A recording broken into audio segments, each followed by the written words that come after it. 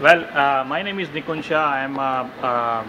I work in development engineering for the low voltage drives business, and uh, my primary function is to uh, design and develop uh, the low voltage and closed drive products for North American market. Okay. Uh, we have a product over here which is Robicon W series, uh, three phase AC to AC, uh, variable speed or variable frequency uh, product line, uh, which is a drive product. Uh, the Robicon W series uh, variable speed drive product uh, closed drive product has been uh, developed uh, primarily for the water and wastewater market, which combines the powerful SINAMICS, the, the most advanced drive technology platform, as well as the Robicon legacy of more than 20 years of quality and expertise in water and wastewater kind of application. The W series, Robicon W series product line has been divided into uh, primarily three types of the product. Uh, the two types are uh, the clean power or 18 pulse drive product uh, which is Robicon W150 CP which you see here and then Robicon W120 CP uh, which is uh, designed using the compact and clean and quiet uh,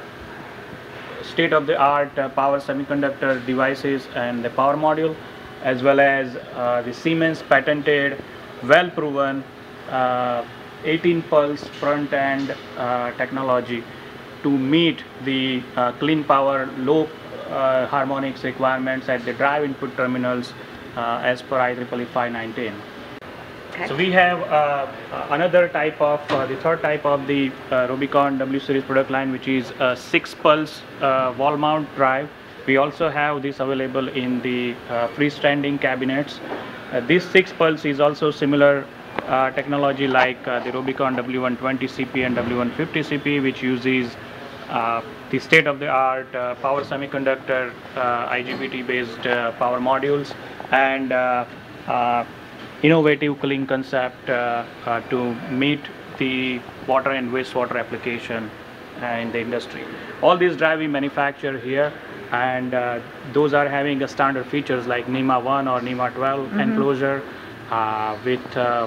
uh, disconnect which is lockable uh, and also filters on the doors uh, if you if the customer needs a NEMA 12 application and also UL listing and high short circuit current rating up to 65,000 kiloamp or uh, 65,000 amps which is 65 kiloamps at 480 volts AC.